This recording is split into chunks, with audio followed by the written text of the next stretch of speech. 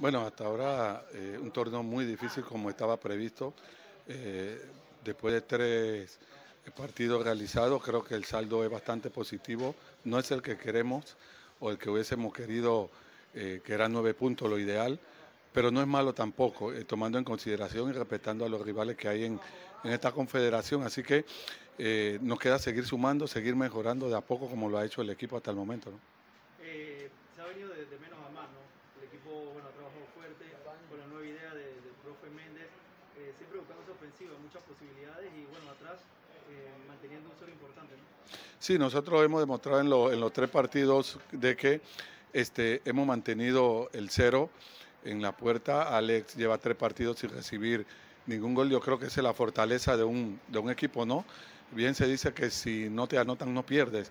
Y después el balance ofensivo ahí lo estamos encontrando de a poco. Esperemos que con el gol del último partido que nos dio el triunfo se abra el, el abanico de, de, goles, pues tenemos una ofensiva bastante pareja, bastante equilibrada como para eh, ir mejorando partido a partido y buscar los goles que nos den la tranquilidad, para mejorar eh, en la tabla de posición y para mantener la tranquilidad durante el partido. ¿no?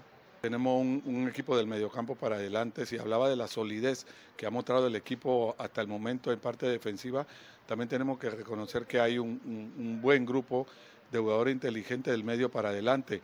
Es cuestión de tiempo de, conocerse cada día más para que los resultados lleguen y los goles para jugadores de, la talla que tenemos del medio para adelante sean más constantes. ¿no? Creo que con goles son los que se ganan los partidos y el equipo de a poco va a ir sumando. Cuarta fecha con Costa del Este, bueno, se ha demostrado que ningún rival es fácil. No, Costa del Este maneja muy bien la pelota, tiene eh, jugadores muy, pero muy inteligentes.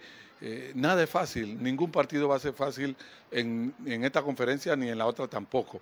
Yo creo que los partidos tú los tienes que ir desarrollando a medida que, que, que, van llegando, planificar para, para ver la, la virtudes y los defectos de, de, cada uno de los rivales y en base a eso plantear tu, tu partido y sacar los resultados. Pero decir que Costa del Este es un equipo que, toca mucho, para nadie es un secreto.